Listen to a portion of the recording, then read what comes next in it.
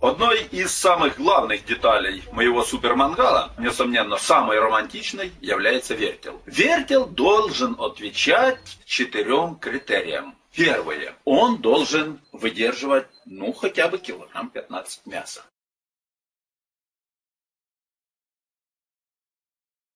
Вы не должны думать, что а выдержит ли мой вертел? Вторая техническая проблема в том, чтобы любое мясо, любой жесткости, любой э, костлявости легко пронизывалось шампуром.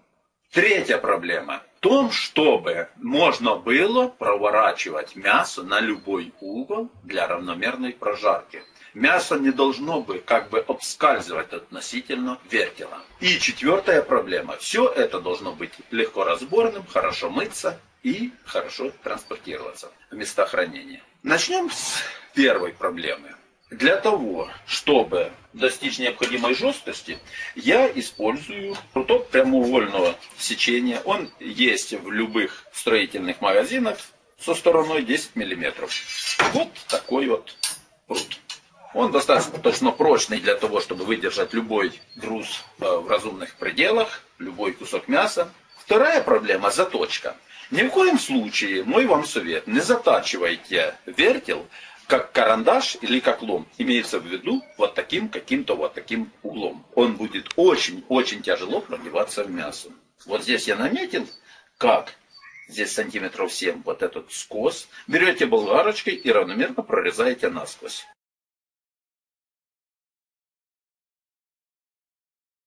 Немножечко проворачиваете и снова прорезаете. У вас получается, у вас получается острие как бы русского штыка.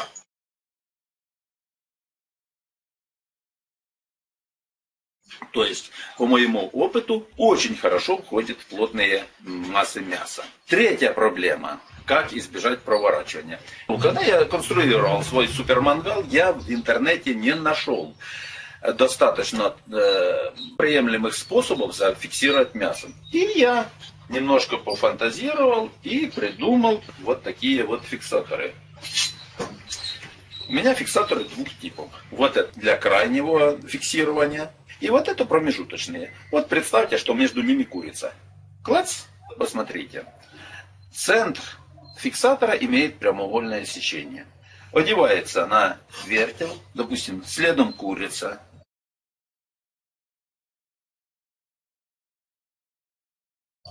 фиксируется промежуточным фиксатором.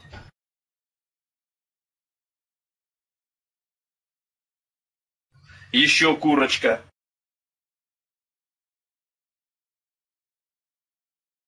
Еще промежуточный фиксатор.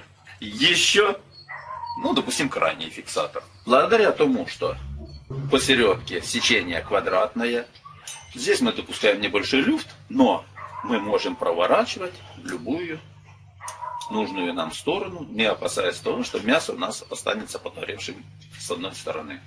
Как изготовить фиксатор? Когда я изготавливал свои фиксаторы, я, допустим, не знал, что существует профильная труба, ну, 15 мм. Это оптимальное, что можно придумать для изготовления фиксатора. Мы отрезаем нужный кусочек. Мы берем заготовочку, проволочку пятерка, выравниваем. Берем болгарку, включаем. На болгарочке вот так вот затачиваем один край. Издеваем, ну, в общем, получаем вот такую вот изогнутую проволочку с острием на конце.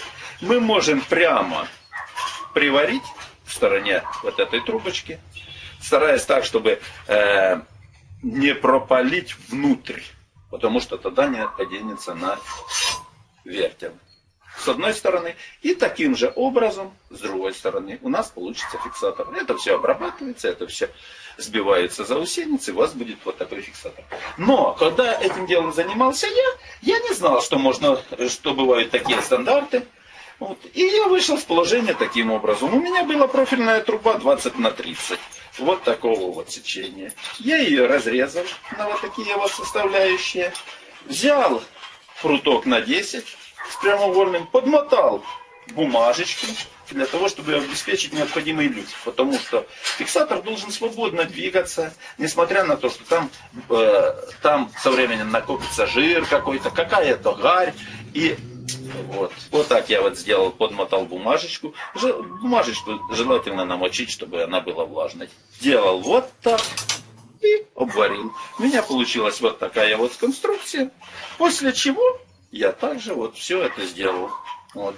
И у меня получился, ежели есть, вот такой вот фиксатор. Или вот такой вот фиксатор. Это более трудоемкий способ, но как бы я не опасаюсь, что у меня что-то здесь обломается за счет вот этих упоров. Размеры фиксатора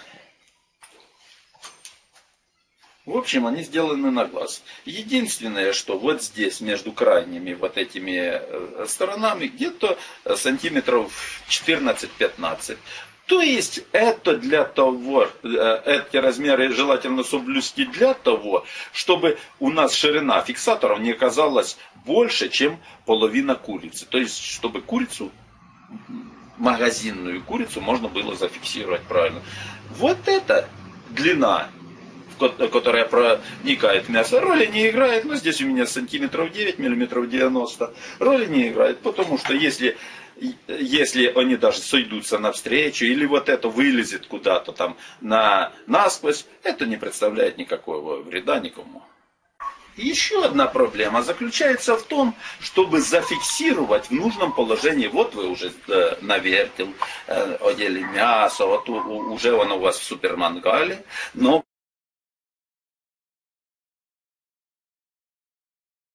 возникает такая проблема.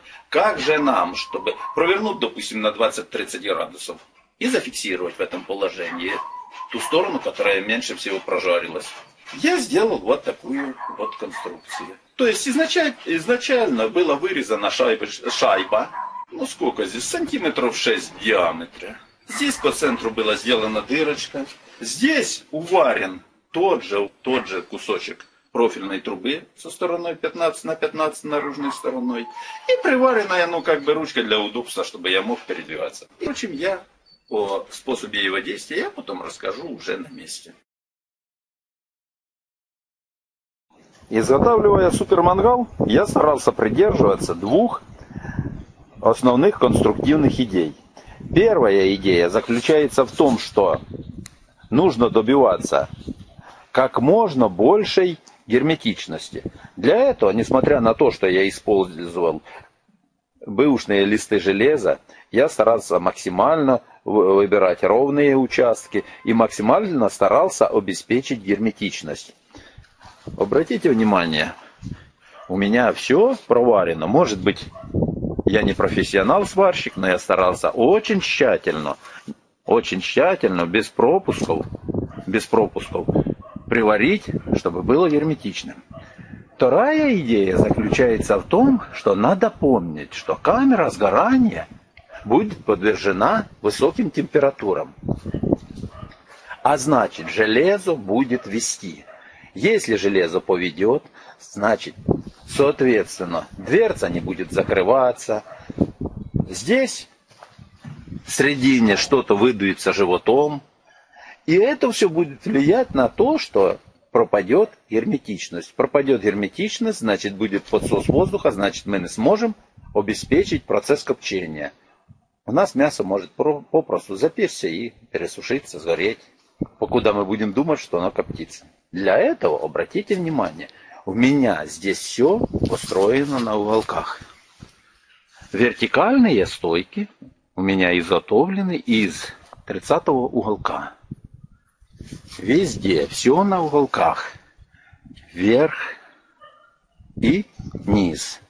Все на уголках, все, все притянуто, все прихвачено, все приварено.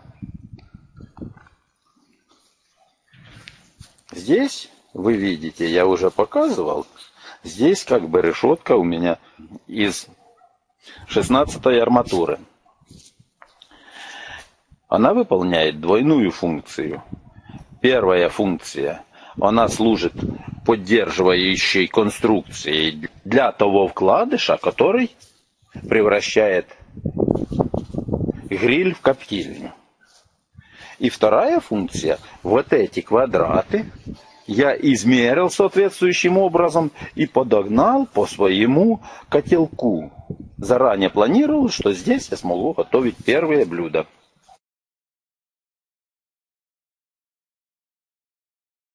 Не обязательно первые, первые, вторые. Обращаю внимание, что здесь все сделано как бы не внахлёст, а впритык.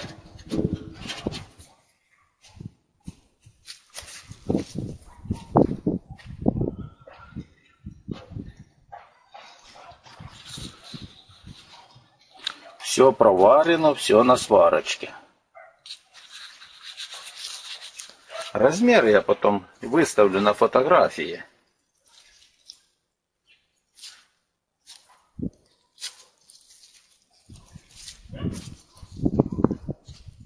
Здесь я уголки расположил снаружи, полочкой наружу. Полочкой наружу, обратите внимание. Здесь уголок верхней полочкой наружу. Здесь уголок полочкой наружу. Здесь и спереди. Зачем? Затем, чтобы я сюда мог беспрепятственно вкладывать вкладыш для копчения.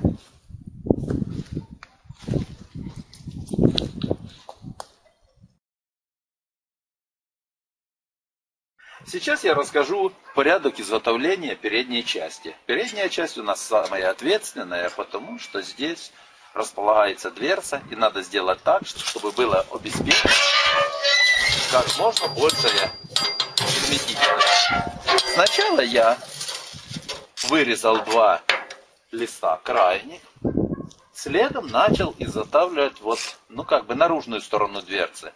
То, что в доме называется дверная коробка не могу подобрать термина.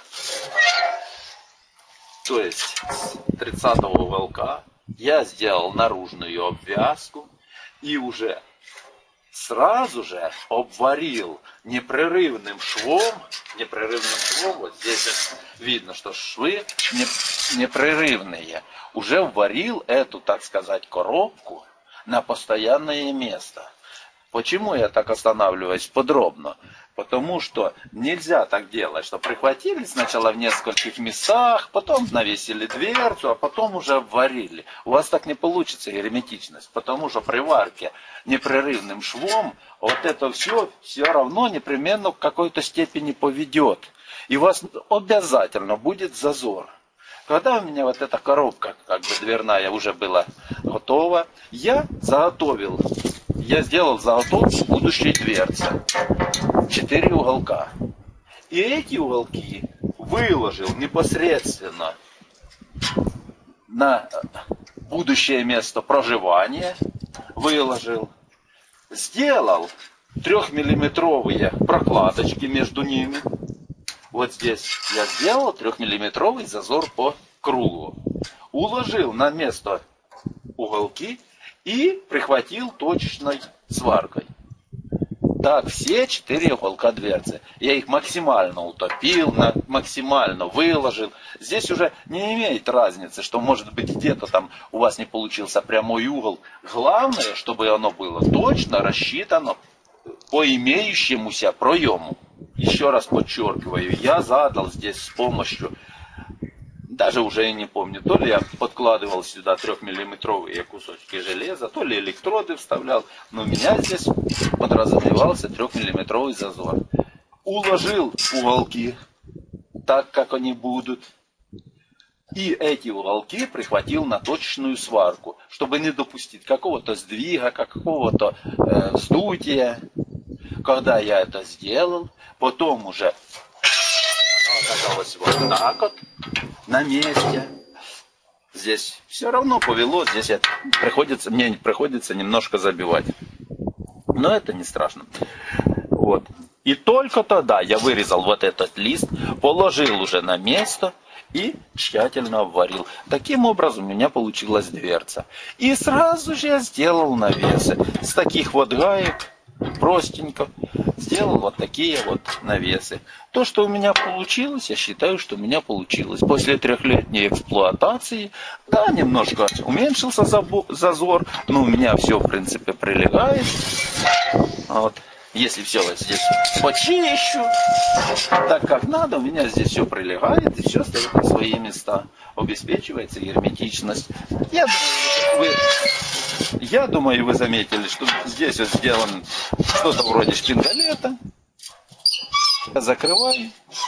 И не боюсь, что под воздействием э, температурных перепадов дверца у меня откроется сама собой.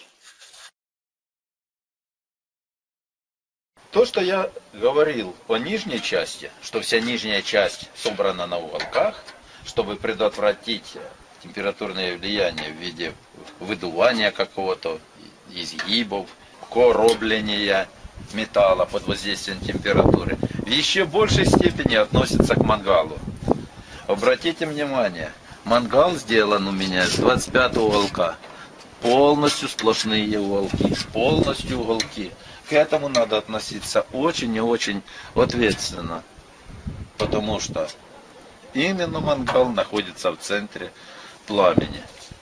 Также обратите внимание, из этого же 25 уголка по сторонам сделаны две стоечки.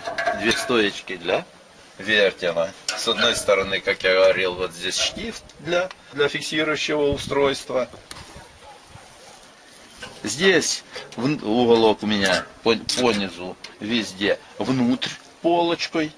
Здесь у меня днище, днище неприваренное, которое лежит на этой полочке уголка, которая направлена вовнутрь. А также полочкой вовнутрь у меня три стороны мангала, за исключением передней части. Зачем я так сделал? Только передняя часть, вот полочка волка у меня направлена наружу. Зачем я так сделал? Для того, чтобы вот этот лист передний выпустить вот на какое-то расстояние и сделать вот эти прорези. А здесь будет тест, насколько заядлый вы э, шашлычник. Вот зачем нужны вот эти прорези? Отвечаю. Все знают шампура, и вот почти везде есть вот такая вот спираль. Но, как ни странно, не все знают, зачем она нужна.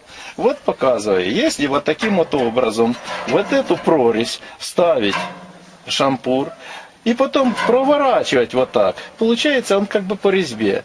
То есть мясо можно провернуть на любой маломальский угол, на любой, начиная от буквально пару градусов, и вы проворачиваете уже мясо. С точностью, с точностью. Не так, как он, оно ляжет, как этот шампур ляжет под воздействием силы тяжести, а вот именно так, как надо. Так что вот это все-таки гребеночка, она нужна. Мой вам совет, когда будет изготовлен сам мангал, не спешите делать верхний колпак. Для начала наложите сюда дров и дайте хорошую температуру, пускай эти дрова перегорят. И тогда вы увидите, вот здесь выдулось животом каким-то, выдуло его под воздействием температуры, выдуло. И когда вы будете делать вверх, вы уже будете рассчитывать на вот это изменение формы. С чего начинать делать колпак? Также заготавливаем, заготавливаем уголочки для верха. Здесь у меня 20 уголочек. Здесь у меня с торца уголков нет. По одной простой причине – Потому что у меня здесь толстый металл, трехмиллиметровый. А вторая причина в том, что здесь вот мне надо сделать вырез под вертел. Э, металл на колпак, у меня здесь миллиметровый черный металл. Собственно говоря, вы можете колпак, вот эту саму крышку, вы можете заказать у жестянщика. Только я вас прошу, не из оцинкованного железа. Цинк при высоких температурах окисляется, и окись цинка, она вредна для здоровья. Так что только черный металл 0,5 мм вполне достаточно. И он будет намного легче. Но если же вы будете э, делать вот так вот, варить, как я сделал, у вас получится ну, тяжелее, ну, собственно говоря, долговечнее. Так вот, сначала вы ложите сюда уголочки, эти уголочки прихвачиваете на месте, и только тогда на это дело вы навариваете уже железо крышки. Но перед этим вам понадобится сделать, сделать торцы.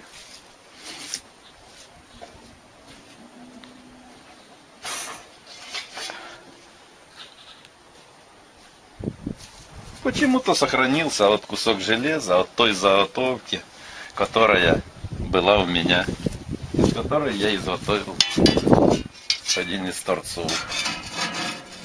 Болгарочкой это все вырезалось. И того порядок работы был такой. Один уголочек приварил на место, как он уже будет. Второй точно, то, точками приварил. Второй уголочек. И здесь же приварил одну торцевую деталь и другую торцевую деталь. И потом вот этот лист металла я уже на месте приваривал, загибал по то, точками, точками, точками, потом все это варилось. Но если вы будете своими руками делать, война план покажет. Когда колпак уже был готовый, верхняя часть уже была на него наварена, понятное дело, что я пообрезал те точки сварки, на которых держался уголок. Это все, конечно, было зашлифовано. Вот, и получилось то, что получилось. Видите, что для удобства я потом сделал ручку такую. И еще сзади я вот из двух отрезков уголочка сделал вот такие упоры. Очень удобно, очень удобно опрокидывать на них, опрокидывать на них крышки.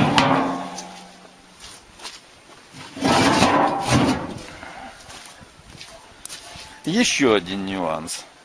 Вот здесь у меня были прямые прорези, что было неудобно, невозможно было невозможно было опрокинуть крышку, потому что прорези прямые. Приходилось ее приподнимать. Чтобы вот сделать вот здесь вот эти прорези э, нужного радиуса я делал так. На эту вот стоечку ставил карандашик, карандашик. И так, как оно будет, как оно будет, приподнимал крышку мангала. И здесь у меня карандашик вот нарисовал вот этот вырез нужного радиуса. Один нарисовал, а второй уже по толщине вертела. Вырезал. Сейчас все хорошо.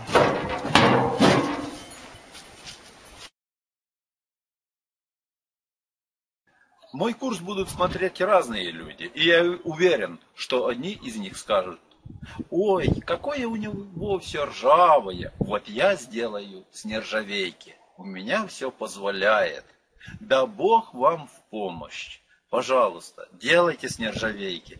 Как бы на скорость это влиять никак не будет, но это будет эстетичнее и красивее. Другие люди скажут, ой-ой-ой, по нынешним временам это железо дорогое, а его здесь надо много. И скажет, а мне это не по карману.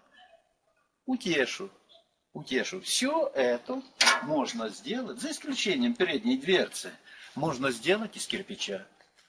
Можно из огнеупорного шамотного кирпича, а можно из обыкновенного красного рядового кирпича. Единственное, что ложить надо на жаропрочном клею, предназначенном для кладки каминов.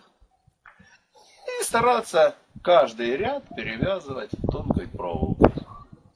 При этом на функции супермангала это не скажется никак, за исключением того, что он потеряет свою мобильность. Вы не сможете его переносить.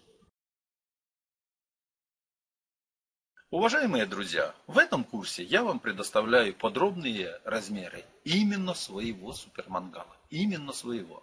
Потому что у меня изначально была задумка и мечта жарить поросенка целиком. Притом я имею в виду поросенка не тот однодневный холодный дорез, который имеет длину 25 сантиметров, а настоящего хорошего поросенка, которого уже можно смело кушать, не брезгуя. Соответственно, и размер моего супермангала именно такой. Если вам не нужен такой размер, вы вполне можете его сделать почти в два раза меньше. Любые размеры вам подвластны. Единственное, на чем я снова заострю внимание, те части, которые сопрягаются между собой, размер колпака крышки с мангалом должны совпадать. И размеры коробки дверцы и самой дверцы. Вот это должно совпадать идеально. Все остальное в ваших руках. Ну, может еще, конечно, обратить внимание на камеру сгорания. Она не должна быть слишком большой, потому что огонь не будет доставать до мангала. И не должна быть слишком маленькой, потому что вы не сможете туда заготовить достаточное количество э, дров для копчения.